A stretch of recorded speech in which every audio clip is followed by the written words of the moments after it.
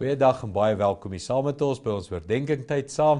En ons kyk na Martha Maria se verhaal van die opwekking van Lazarus uit die doodheid. Hoor hierdie laaste gedeelte of hier, kom ek sê hierdie middelste gedeelte van hierdie verhaal. Johannes 11:33-34. Hy sê toe Jesus sien dat sy huil en dat die Jode wat saam met haar gekom het ook huil, het hy bewoog geraak en was diep ontstel. Hy sê toe: "Waar het julle hom neergelê?" Ja, hierdie is iets van die menslikheid van Jesus, die die die egtheid van Jesus, die die bewys dat Jesus weet wat jy voel, weet waartoe jy gaan. Uh, baie mense sê, "O, oh, Jesus is besig met groot corporate stuff. Jesus is besig met Iran en Irak en Sirië en al hierdie groot probleme. Hy gee nie om oor ons nitty-gritty nie." Hierdie is 'n bewys.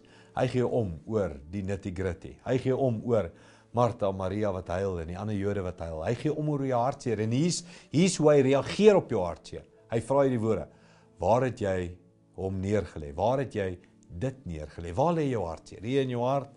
Waar draai jy jou hartseer? Hy wil soen toe gaan.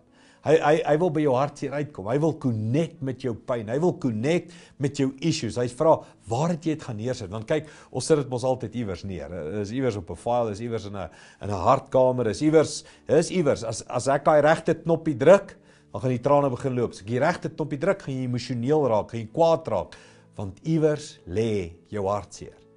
En Jesus vra jou, waar het jy dit neergelê? Want hy wil soen toe gaan. En hy wil kom connect met jou pyn en jou seer. En hy wil saam huil en hy wil antwoord gee en hy wil 'n wonderwerk doen. Hy wil genees of wat ook al, maar hy wil daar wees. Hy wil connect met jou. Waar het jy dit neergelê? Hy wil daar wees saam met jou. Kom ons sê dankie daarvoor. Hemelse Vader, U ken ons, U ken ons, U ken ons so goed. Elke haar op my hoof is getel. U's deel van elke storie in my lewe, elke dag, elke gebeurtenis. En soveel goed in hierdie lewe begrawe ek, soveel seer, soveel bagasie is net deel van my lewe. En U kom en U vra, "Waar het ek dit neergelê?" Want U wil gaan. U wil gaan skoonmaak, gesond maak, heel maak. En nou maak ons ons hart oop en sê, "Here, hier. Hier het ek dit neergesit. Kom help my." Dankie dat U kom help. Dankie dat U kom gesond maak. Dankie dat U kom aanraak. Nou. Dankie daarvoor, Here, in Jesus naam. Amen. Goed gaan. sien jou weer. Moenie die woord erediens misloop nie. Sondagoggende om 11:00 op SABC 2.